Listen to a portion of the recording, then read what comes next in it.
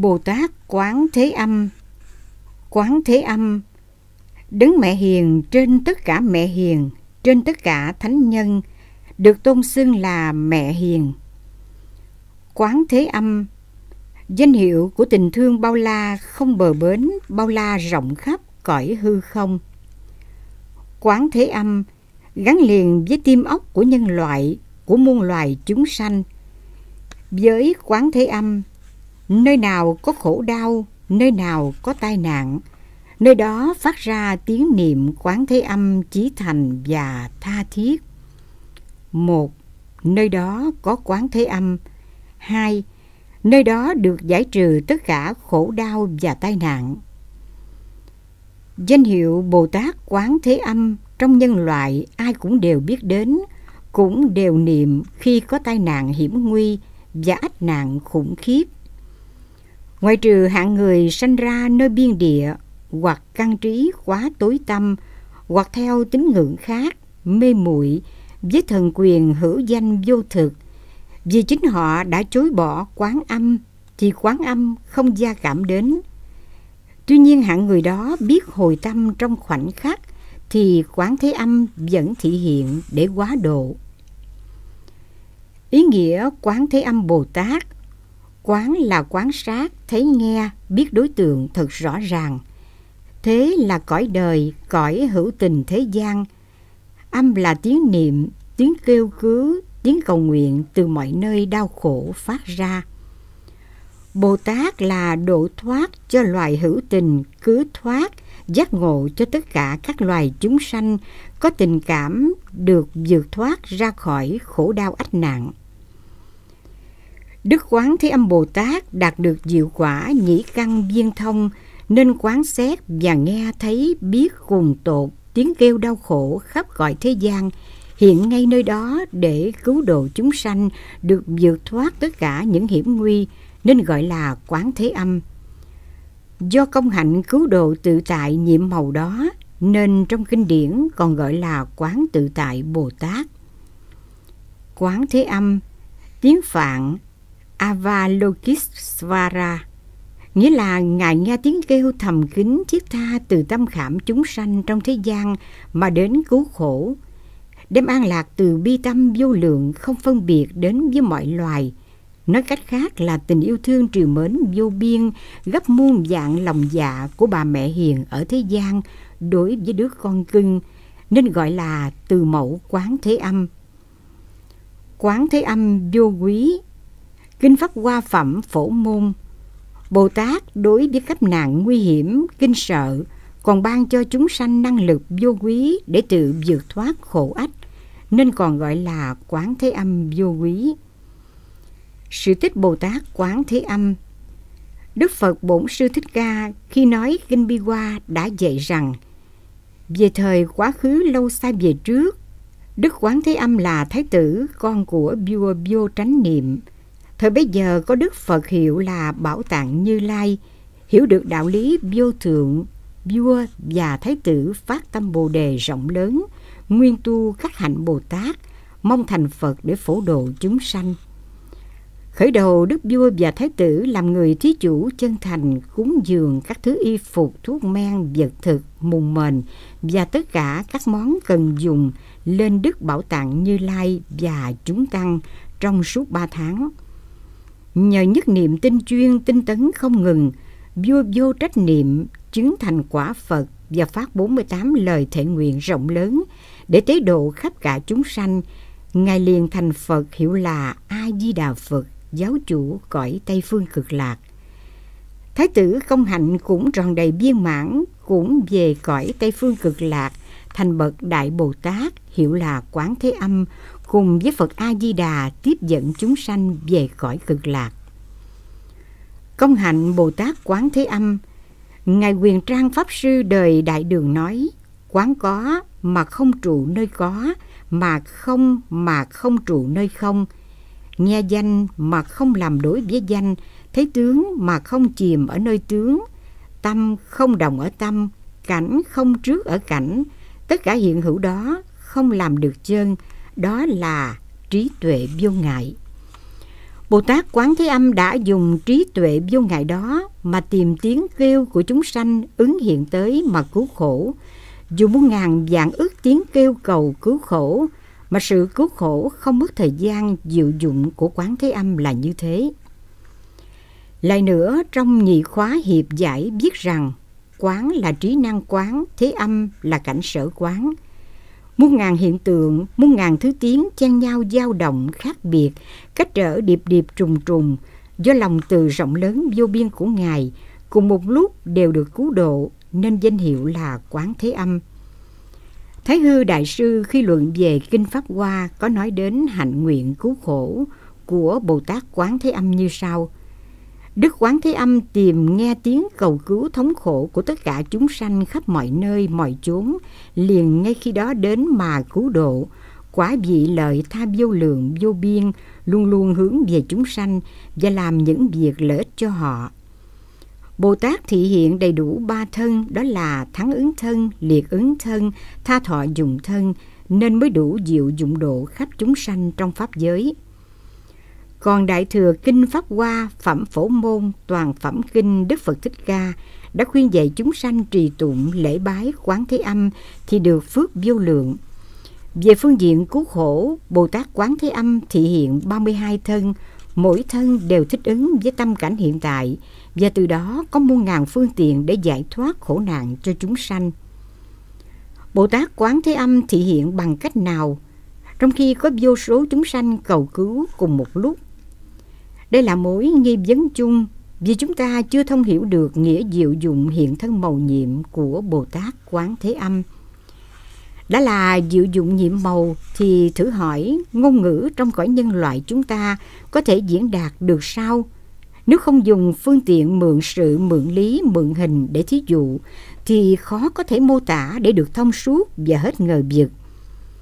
Nghi ngờ là một cản trở lớn cho lòng trí thành, Tuy nhiên, nghi ngờ mà cầu học để giải trừ tà kiến là một tinh tấn để mau chóng đến bờ giải thoát. Diệu dụng màu nhiệm của Bồ Tát là tất cả các thứ sắc pháp và tâm pháp có không danh tướng tâm cảnh năng sở cho đến xa gần dày mỏng tối sáng nhiều ít vân vân tất cả đều không chướng ngại thí dụ diệu dụng cứu khổ của quán thế âm tỉ như ánh sáng của Thái Dương dụ cho thường quán, luôn luôn soi chiếu khắp mọi nơi, dụ cho sự thường trực tìm tiếng kêu.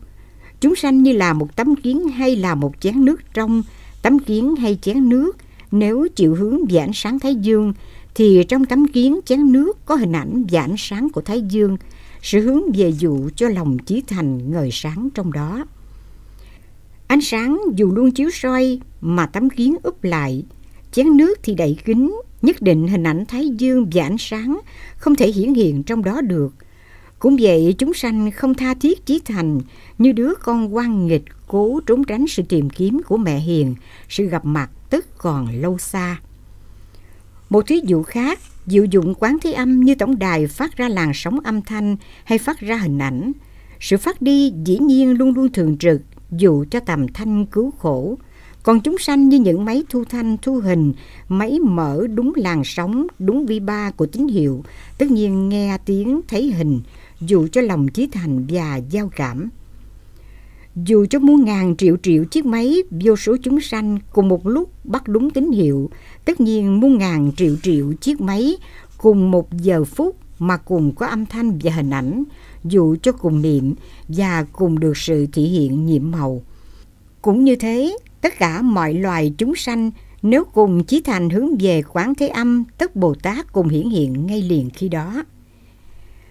Diệu dụng khi thị hiện của Bồ Tát quán thế âm, điểm này tưởng cũng minh bạch qua các thí dụ ở đoạn trên, tuy nhiên có vài thắc mắc khác xin được nêu ra. Căn cứ theo các kinh bi hoa lăng nghiêm tất đàm phổ môn quán thế âm thọ ký, thì Đức Quán Thế Âm thị hiện thật nhiều thân và tùy vô số loại mà hiện thân. Trí óc con người vốn mang nhiều nghi hoặc, dù đã tin tưởng Phật Pháp là cao siêu màu nhiệm, chịu thọ nhận, tụng niệm tu hành. Nhưng tiếc thay, nghiệp chướng nghi hoặc đã làm ngăn trở bước đường tiến tu không ít. Người ta cứ nghi Bồ Tát sao không hiện ra trước mắt cho họ thấy, cho nghe, bao nhiêu hiện thân trong kinh Phật, nào Bồ Tát, Phạm Dương, Đế Thích, Thiên Long, Đồng Nam, Đồng Nữ, vân vân. Nhưng khi có nạn, mình có niệm chí thành lắm chứ, mà nào có thấy Bồ Tát. Sự kiện này có nhiều người vì lòng tin sâu đậm và do nhận xét tinh tế, quyết chắc có sự tế độ của Bồ Tát, chỉ vì mình mắc phàm tay tuột nên không nghe thấy Ngài. Nếu không có thì không thể nào mình thoát nạn một cách ly kỳ vậy được. Một số khác lại ngờ rằng không biết có phải Bồ Tát đến độ cho mình hay không, hay là mình có số hơn, hay do phước ông bà để lại. Chúng ta nên hiểu rằng Bồ Tát thể hiện giao cảm trong chúng ta, trong tất cả mọi người, mọi loài. Một đám giặc cướp sắp ồ ạt tấn công qua chiếc thuyền nhỏ bé. Trên thuyền sắp có biến cố thê thảm xảy ra. Tại sao bọn cướp lại đổi ác ý để trở thành thiện niệm? Để rồi bọn chúng trở nên hiền từ và rút lui êm đẹp. Hơn nữa còn tiếp tế giúp đỡ. Đó là nhờ trên chiếc thuyền có nhiều người chí thành niệm danh hiệu Đức Quán Thế Âm. Sự thay đổi tâm ý của kẻ ác lại không là sự thể hiện nhiệm màu để cứu đồ hay sao? Không lẽ Ngài hiện ra hung thần để đánh chìm thuyền của ác tặc rồi mới cho là linh? Bà già đang khâu mây, ở nhà có một mình, mới vài đường chỉ, chẳng may chỉ suốt. Đôi mắt lem nhem không làm sao xỏ chỉ qua lỗ kim được. Bà thở dài buồn thảm.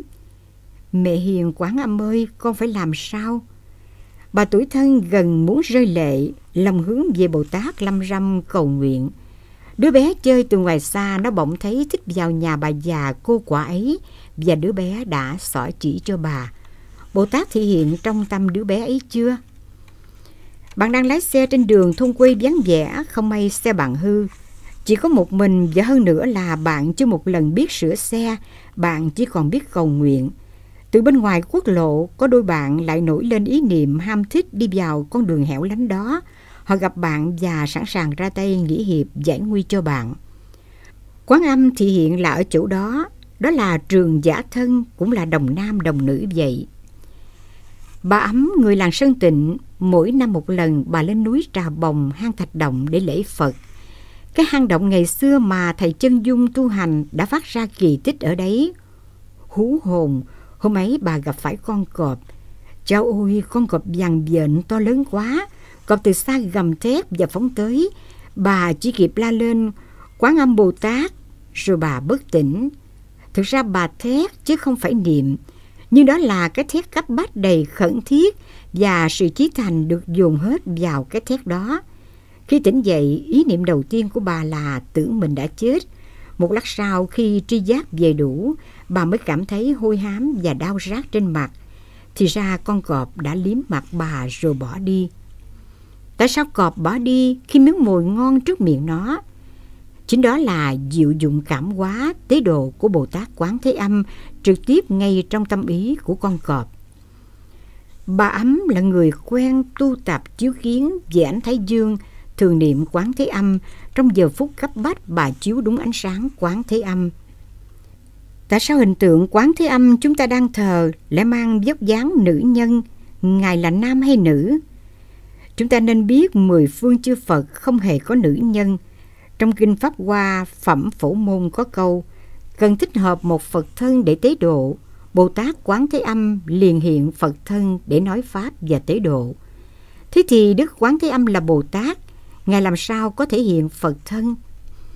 Thực ra trong Kinh Đại Nhật và Kinh Bi Hoa, Đức Bổn Sư Thích Ca đã từng dạy rằng Đức Quán Thế Âm đời quá khứ đã thành Phật hiệu là Chánh Pháp Minh Như Lai vào thuở lâu xa vô lượng kiếp về trước.